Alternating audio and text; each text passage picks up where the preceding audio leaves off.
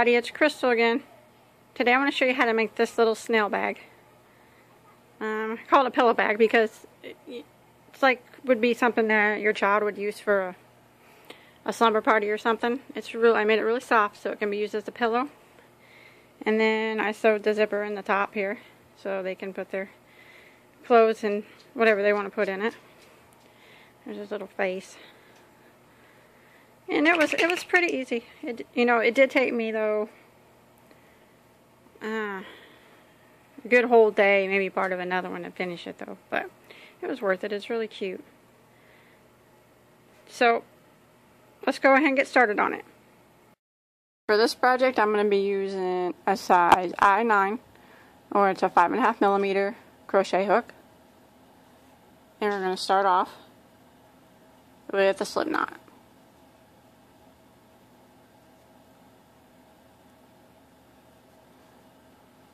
Okay, now we need to do a chain of three and then we're going to slip stitch in the very first chain to form a ring. Just like that. Now we're going to do a chain three and this is going to count as a double crochet and the chain three is going to count as a double crochet all throughout this project. So we need to do a total of 12 double crochets through the center of the ring. Counting that chain three. So we're going to need 11 more. So I yarned over and I stuck my needle through the center of the ring and I'm going to grab my yarn and pull it through. And I'm going to have three loops on my hook. So I'm going to yarn over and go through the first two. I'm going to yarn over and go through the second two. So that's our second double crochet count in this so I'm going to yarn over and go through the ring again. Grab my yarn, pull it up, and I'm going to have three loops on my hook. So I want to yarn over and go through the first two, and yarn over and go through the second two. So now I have three. So I'm going to do it again. Yarn over, go through the ring, grab a loop, pull it up, three loops on my hook, yarn over and go through first two, yarn over and go through the second two. So counting that chain three, I have four. So I'm going to yarn over and go straight through the ring again. Grab the yarn, pull it through. Three loops on my hook, yarn over and go through the first two. And then the second two. I'm going through the ring again, grabbing my yarn and pulling it back through. Three loops on my hook. Yarn I'm going to go through the first two and the second two. So I have a total of six double crochets counting this chain three. So I need to do six more. Okay, that's a total of seven. Eight. Nine. Ten. Eleven. And there's 12. Counting the chain three, I have 12. Okay, if I pull my tail, I should be able to make that. Pull it real tight, that center a little bit smaller. Okay, now I want to slip stitch into the that chain three, that very first chain three I made. The very top stitch of it. Just like that. Now I want to do another chain three. This is going to count as a double crochet. And now I'm doing two double crochet in every stitch around. So this is my first one. So I'm going to go back into that same stitch and do another one. And that's two for that stitch. So I'm going to move to the next stitch, which is right here. And I'm going to do two double crochets in that stitch.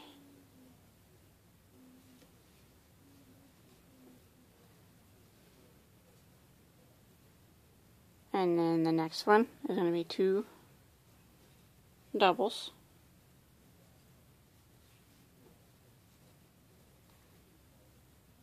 Two doubles in the next.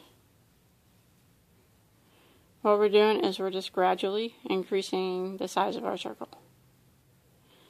As long as you keep doing increases in your round of circles it'll always lay flat. But when you stop doing increases and start to just do one single crochet in every stitch, that's when it starts to turn and go inward like, like you'd be making a hat.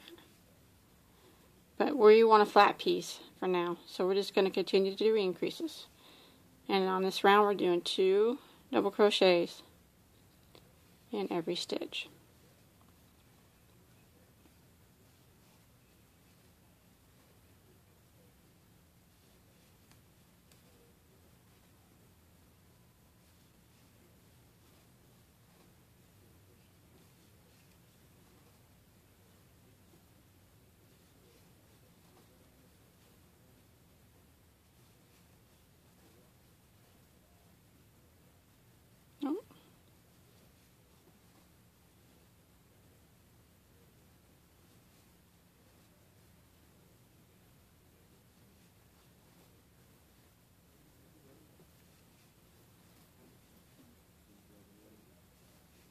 Okay, I'm at the end here. Now I'm going to switch colors here because I'm going to do two rows of each color that I do. But if you want to keep the same color, you can. If not, I'll show you how to switch it. So normally we would just slip stitch through this top chain and pull our color through, our first color, but now we're going to slip stitch into the top of the chain three, but instead of pulling that same color through, we're going to pull our new color through. So I'm just going to go ahead and clip this one so I'm not going to need it anymore. Now I'm going to get my new color, and I'm just going to go ahead and pull it through, and slip, just finish my slip stitch with it. I'm going to flip it over, and I'm going to tie a knot so it doesn't come undone. Just like that. And then you can start with your new color. And I'm going to hide these tails as I go. If you want to sew them in at the end, it's up to you. So for this round, we're going to do a chain three again. Two, three. Counts as a double crochet. Now, we're going to do one double crochet in one stitch, and then two double crochets in the next. One double in the next, then two in the next. So that's going to be our sequence for this round. So this counts as my first double crochet. So in the next stitch, I want to do two double crochets. And I am hiding this as these strings as I go so I'm just putting them on top there and hiding them like that. So I want to do another double crochet in that same stitch. And then I want to move to the next stitch and I just want to do one double crochet in that stitch and then I'm going to move to this next one and I want to do two double crochets in this stitch.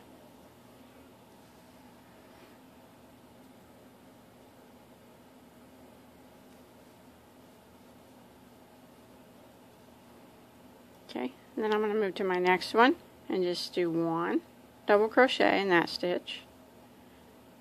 And the next one is going to get two double crochets. In the same stitch. One. In the next. And then two. In the next after that.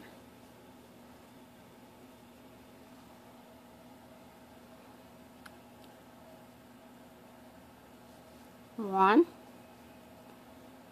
and then two in the next. So I'm going to repeat this all the way around until I get back to my beginning stitch. Back here to my last stitch. And if you do your counting right every round, you should always end, your last stitch should always be an increase. And mine is. So I know I did that round right. So now I'm going to slip stitch into my beginning chain three and close that round off. Now I'm going to chain three again, counts as a double crochet.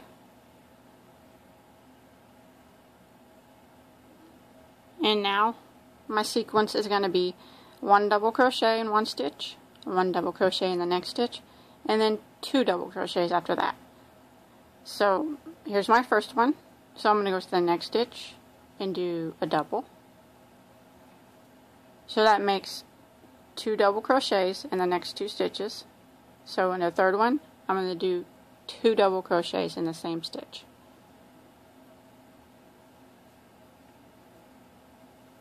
Just like that. So I'm going to do in the next one, one double crochet, one double crochet in the next, and then two double crochets in the next stitch.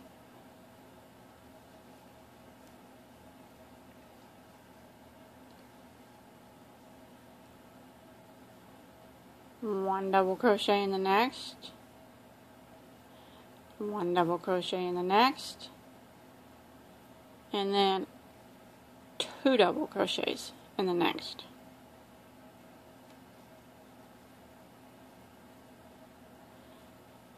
one double crochet in the next. One double crochet in the next. And then two double crochets in the next so go ahead and repeat that sequence all the way around one double crochet one double crochet and then two double crochets all the way back to the beginning okay I made it back around and I'm gonna and I ended in an increase like I was supposed to. Right, there was two in that last stitch. So now I'm gonna I'm gonna switch colors again. So I'm gonna slip stitch into my beginning chain three. I'm not gonna pull out this green yarn. I'm gonna clip it. I'm gonna pull out my new color and just finish off that slip stitch with the new color. And then I'm gonna put a little knot in the back to hold it.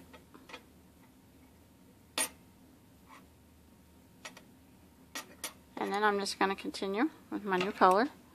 I'm going to do a chain three, three. Now my sequence is going to be one double crochet in the next three stitches and then two double crochets in the next. So this one counts as one. Go to the next stitch.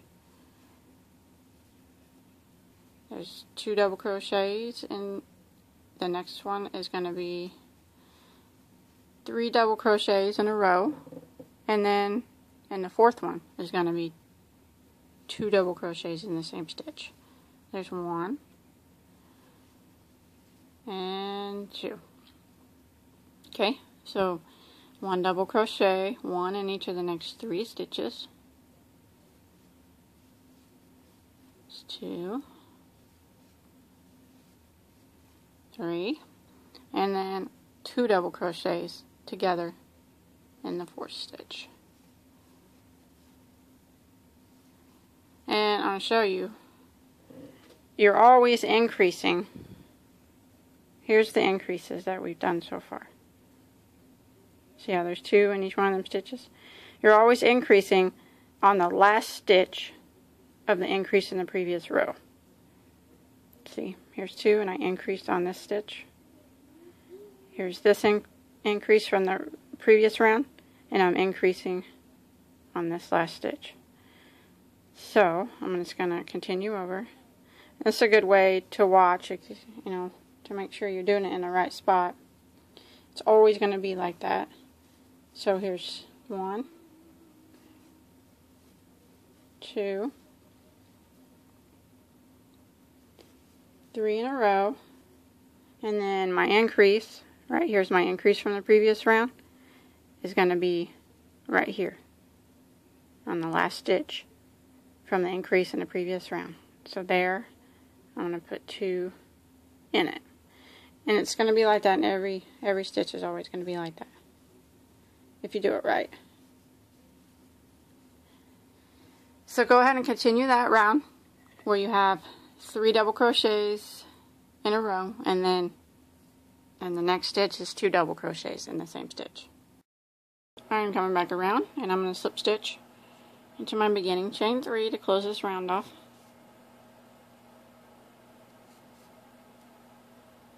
like that. Now I'm going to do a chain three again, counts as my double, and then the sequence is going to be four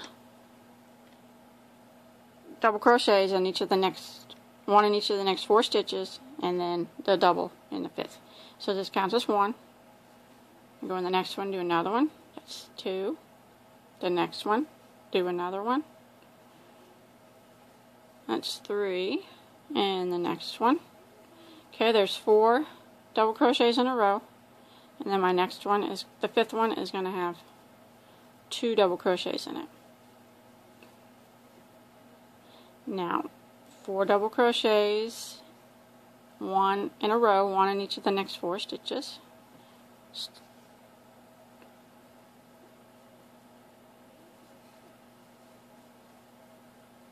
And then the fifth stitch is going to have two double crochets in it. So go ahead and repeat that pattern all the way back to the beginning. Back around and I'm going to change colors this round. So I'm going to slip stitch into that chain three. Oh, flip. Finish my slip stitch with my new color. And pull knot in the back.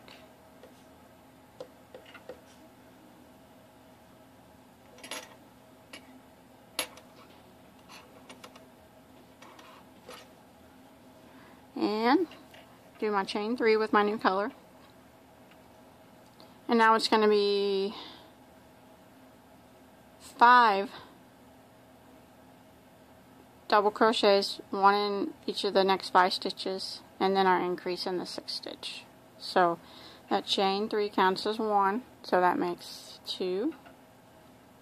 Go to the next stitch, three, next stitch, four. And the next stitch is five.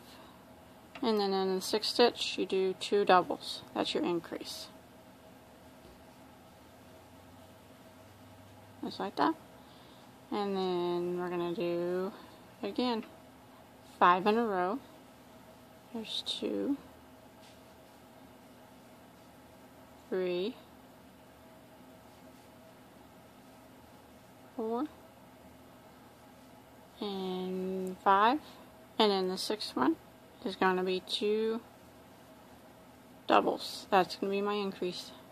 So go ahead and continue that. The five double crochets in a row and then the sixth stitch should have the increase two doubles in it. Okay. I went ahead and made it all the way around. Slip stitched into my beginning chain three. I'm going to chain three again. And this is going to be our last row of increases so now we're going to be doing six double crochets in a row.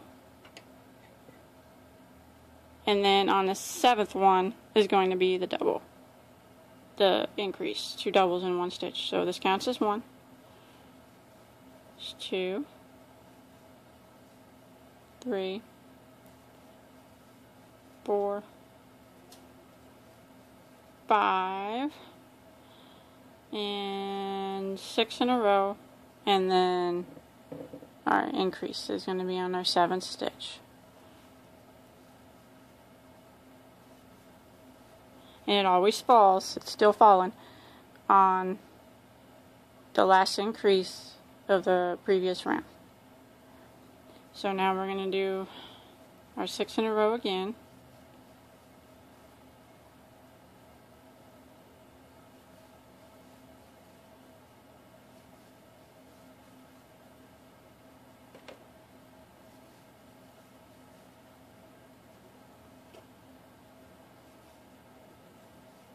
and then increasing on our seventh with two doubles in the same stitch. So go ahead and repeat that all the way around and then when you get to the end just slip stitch in your beginning chain three and then tie off and hide your tails. Finished my circle and you're going to need a total of four of these. Why you need four is I wanted to make this the snail shell poofy, like kind of realistic looking, I guess, but poofier. So you have to make another one to sew on the back so you can stuff it with this fiberfill.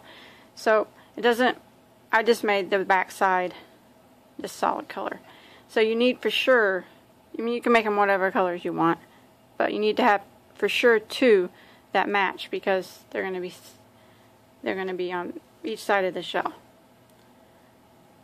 And this is going to be the inside of your bag.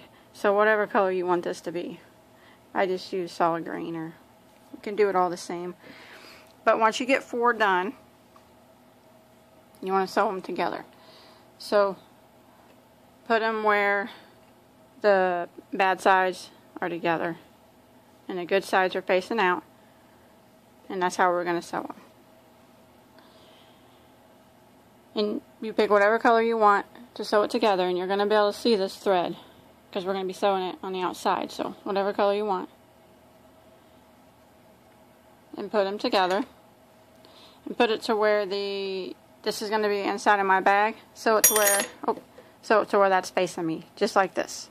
And this is going to be the outside of my bag.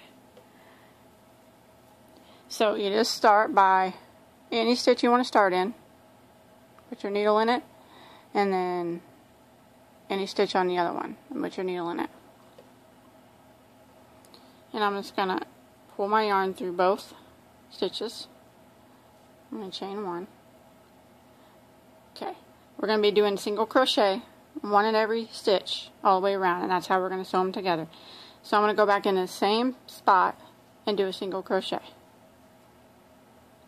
And then I'm going to do one single crochet in every stitch. So I'm going to go into this one and then go into the same one on the other side. I'm going to go into the next one and then the same stitch on the other circle and single crochet. Go into the next one and then the next one on the other circle, single crochet. Next one, next one on, I'm just hiding this tail as I go to, but if you want to sew it in at the end you can. go into the next stitch and then the next stitch on the other circle. Single crochet. Next stitch and then on the other circle single crochet. So we're just gonna do one single crochet in every stitch around and we're going through both circles that way we're sitting it sewed together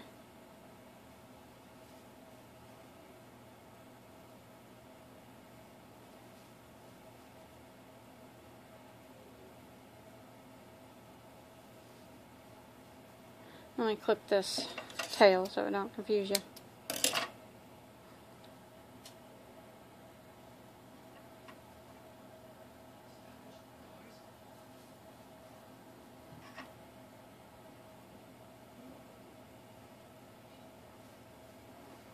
See how my needle is just going through both circles and then I'm just doing a single crochet and that's sewing it tightly together. So go ahead and do this all the way around, but when you get to the end, leave a little space here open, unsewed, so we can stuff it, and then we'll finish sewing it. So I'll just meet you up over here somewhere. Okay, I'm using some fiberfill, and I'm just stuffing up here, stuffing him. I left this little spot. Now you don't want to overstuff him. You just want to kind of, you don't want to do it real tight or the inside of your purse will be all too thick, but just lightly stuff him a little bit.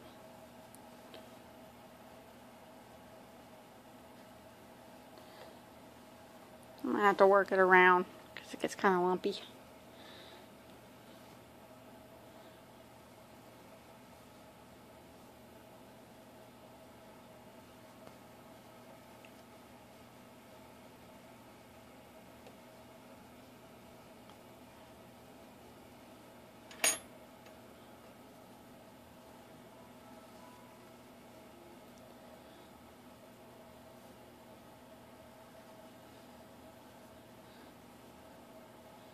Little extra right here so when I sew it up it'll be okay that's probably good Now just continue with the single crochet. Matching them up just like we did before. Close him up.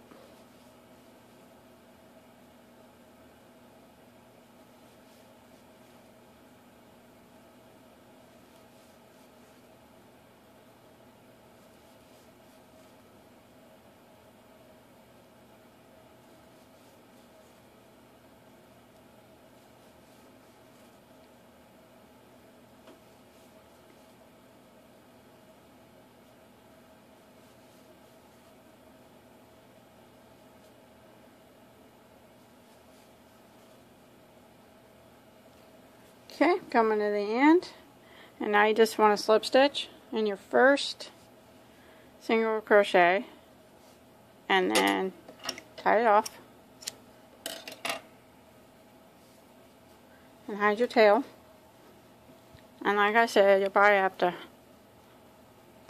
work it a little bit because the stuffing around in there. But I'll do that a little bit later. Okay, and then you just tie your end off. And then you want to sew in your tail.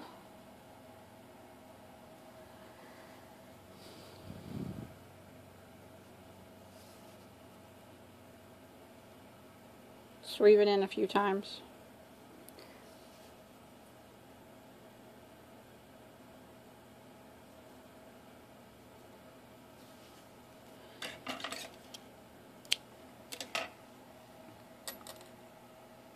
Okay, that's what we got so far.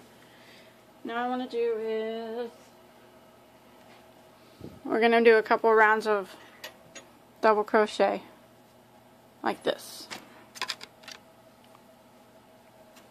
So you can just start anywhere you want, or whatever stitch you want to start in. And do a chain three I'm going to hide this tail as I go. And then we're just going to go around doing one double crochet in every stitch around. And that chain three is counting as a double crochet.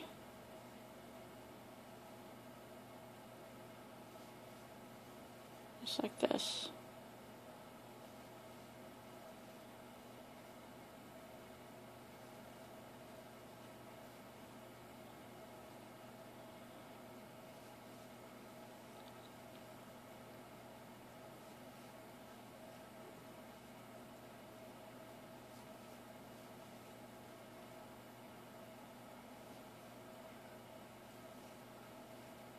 Okay, just continue that around. One double crochet and every stitch all the way around. And then when you get to here, we're just going to slip stitch into our chain three, chain three again, and go around one more time. So two rows like this of double crochet all the way around. And then you can tie off. Of my shells done with the double crochet ring around them and what's going to happen is that's how they're going to be put together later.